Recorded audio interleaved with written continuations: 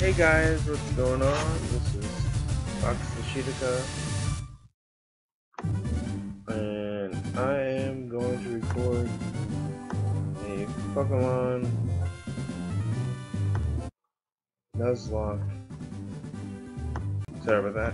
I had to fix the audio for a second. It seems too loud. So I'm gonna do a Fire Red Nuzlocke randomizer. And we're gonna get started. And uh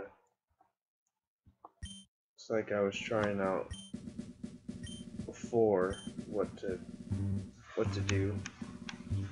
But now I think I have everything figured out and we're gonna go ahead and jump in.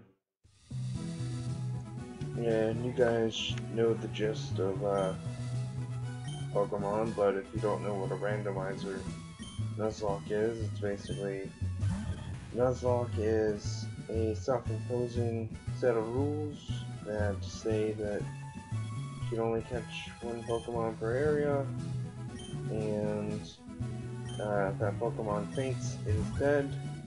Uh, when you lose all your Pokemon in a battle, either it's random or trainer, you lose uh, you lose the game.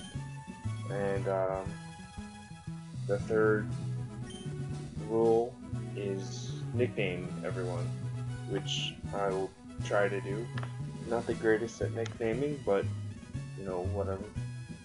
So I am Bucks.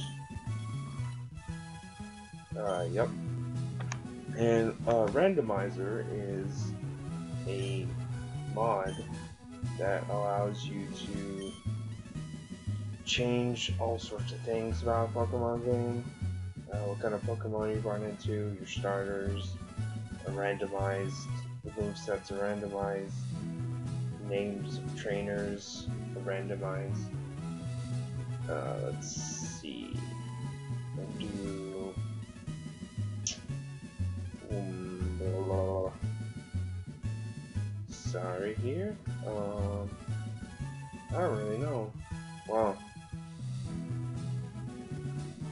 I guess just to uh, make people rage, I guess. You know those hardcore Pokemon fans, like that's not right. You don't know how to play Pokemon. Alright. So, um, pretty much straightforward. Things all good on there. If you've never played Pokemon Fire Red, it's basically a remake that came out in 2004 of Pokemon Red, uh, Blue,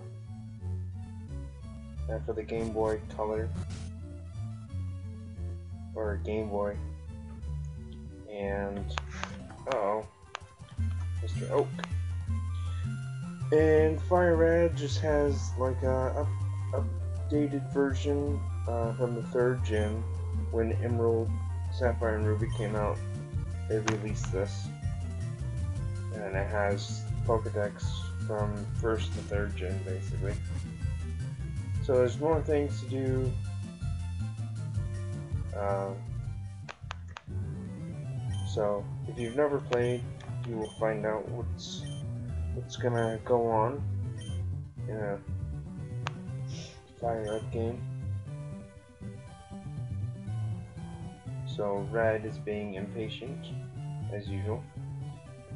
But if you have played, alright, so you basically know the gist of things. So here we have first starter, which they gave us Shunas, which, I don't know.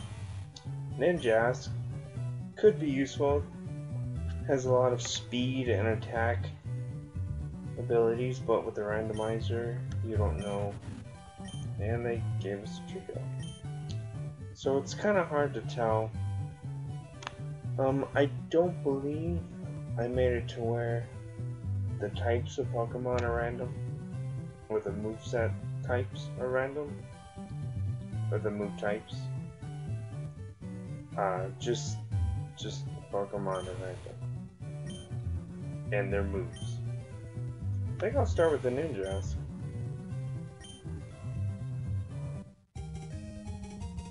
I have never really used Ninjask before. So let's see, I will go with uh, shoot man. Uh, what's that guy's name from Naruto? Okay, sorry about that. I had to look up Shino's name from Naruto. Forgot about. Shino makes sense. Bug Pokemon, Ninja, Ninjas, you know. So, here's the thing. I made it to where the random won't really have a his starter every time we find him. So even though it said he got a Shroomish, uh, it most likely he won't have a Shroomish when we battle him. So let's check out Ninjask, or Shino. Looks like he is bug flying. He's holding TM06. I made it to where uh, Pokemon starters will hold a random item, so I don't know what that is because I made it to where TMs and HMs are also random. He has natural cure, heals upon switching out. Never heard of that ability, so it should be useful. Especially in the Nuzlocke. And he has Hyper Voice, Smelling Salt, Metal Claw, and Sleep Talk. Um, I think the only thing useless in this moveset is Sleep Talk because I don't have Rest. I don't know if Shino will learn Rest. So, kinda useless. Let's go ahead and take Team 06 from Shino and see if it's something he can learn. I also made it to where the compatibility is right. And he can't. Alright let's get the show on the road for our first fight with Red. And I know I'm not gonna I'm not gonna really bother trying to be too strategic or try to do 100% of the game. So I'm sorry if I missed something. Alright, see he started with a Weepinbell instead of a Shroomish, even though it said he got a Shroomish. Which is funny.